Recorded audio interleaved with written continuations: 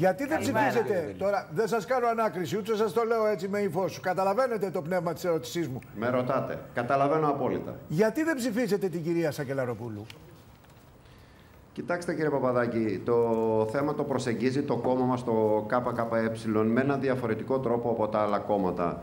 Ε, η στάση μας αυτή θα συμμετέχουμε στη διαδικασία, θα δηλώσουμε παρόν στην εκλογή Α, της, παρόν, ε, δεν θα- του α, Προέδρου. μπρος. Ναι, Μας θα δίνετε και την συμμετέχουμε. είδηση. Θα είμαστε, θα είμαστε στην αίθουσα, θα Παρόν το συμμετέχουμε κουπέ. στη διαδικασία και θα α, δηλώσουμε παρόν. Είναι το δικαίωμα αυτό μας το δίνει ο ίδιος ο κανονισμός.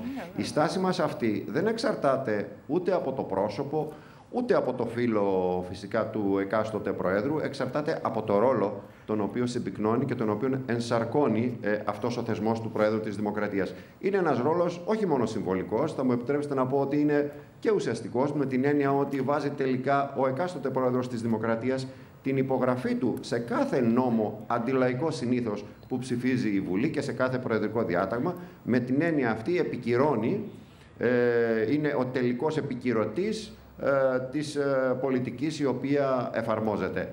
Εξ αυτού του λόγου λοιπόν προκύπτει και η στάση του κόμματός μας απέναντι στον εκάστοτε πρόεδρο της Δημοκρατίας και δεν είναι μια στάση βεβαίως που εκδηλώνεται μόνο με την τωρινή εκλογή αλλά και με όλες τις προηγούμενες. Όπως κύριε Παπαδάκη... Να επισημάνω ότι επειδή είναι ακούγονται- ιδιαίτερη προσεκτική η προσέγγισή σας και η οποία δεν διαφοροποιείται στο παραμικρό από ανάλογες τοποθετήσεις σε διαδικασίες που είχαμε τα τελευταία χρόνια στη Βουλή. Τα προηγούμενα, στις προηγούμενες εκλογές. Πολύ σωστά. Από την άλλη τώρα, αν μου επιτρέπετε και ένα μικρό σχόλιο για τα περί συνένεσης, ακριβώς επειδή έχει αυτόν τον ρόλο ο Πρόεδρος της Δημοκρατίας και επειδή αυτή η αντιλαϊκή πολιτική κάθε φορά υλοποιείται από διαφορετικές εναλλασσόμενες κυβερνήσεις, θα πρέπει λοιπόν να συγκεντρώνεται η συνένεση στο πρόσωπο του εκάστοτε Προέδρου.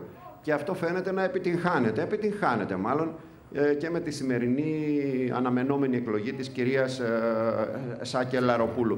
Όμως, ξέρετε, είναι λιγάκι υποκριτική αυτή η συνένεση με την έννοια ότι την ίδια στιγμή τα ίδια αυτά κόμματα θα αρχίσουν να τσακώνονται για τα επιμέρους, για τα δευτερεύοντα ή τα τριτεύοντα και εν πάση περιπτώσει, και εν πάση περιπτώσει να πούμε εδώ ότι όλη αυτή η συνένεση δεν υπήρξε. Έχουμε κόμματα όπως ο ΣΥΡΙΖΑ που στην προηγούμενη εκλογή του 2015 δεν δίστασαν να αξιοποιήσουν αυτόν τον, την, την εκλογή του Πρόεδρου της Δημοκρατίας για να ε, γίνουν εκλογές ή κόμματα τα οποία το τελευταίο διάστημα, το βλέπατε κι εσείς, το παρακολουθούσαμε άλλοι, όλοι συνέδεαν την εκλογή του Πρόεδρου της Δημοκρατίας με ορισμένα στοιχεία του νέου, του επικείμενου νέου εκλογικού νόμου.